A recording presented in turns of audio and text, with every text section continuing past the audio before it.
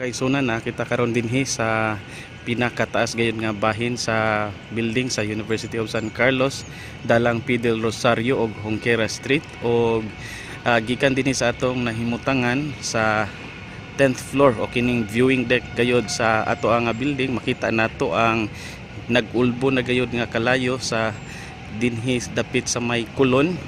Ato pang gisusi kung unsa kini siya nga establishmento pero dinhi sa ato ang ah, location mga kaigsunan kita na kaayo nga gitupok na gyud sa kalayo kining taas nga bahin sa ah, nga building no? O gani ang mga bumbero kamumbiruhan nato.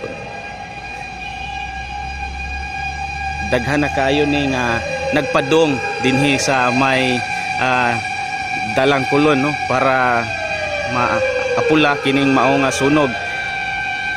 Sa atong tungod mga kaigsunan dinhi dapit sa may dalang hungkera na ay usa ka ang bombero nga ni padong didto o bisan pa sa wala pa kita nakapag ah, live na anay ni siya ay mga upat ka mga bombero nga nagpadong na usab didto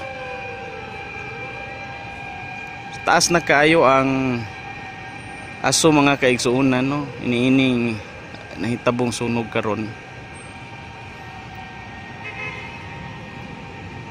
Atong makita si Father Sisoy na siya din ha sa mo kini siya ang presidente sa University of San Carlos.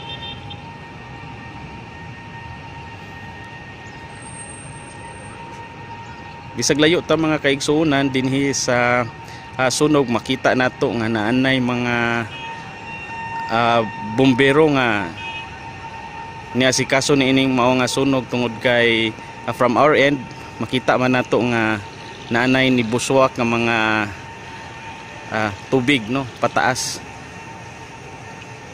Niining sunuga.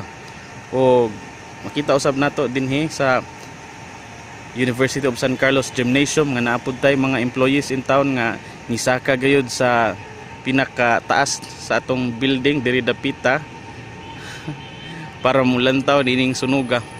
Kini siya nga sunog mga kaigsuunan. Makita ninyo ang backdrop nini ang ah, the third bridge o ang Sisilex bridge nga mao'y nagdugtong sa Cebu City. Diri dapita mga kaigsuunan. Padong na siya dito sa ah, Cordoba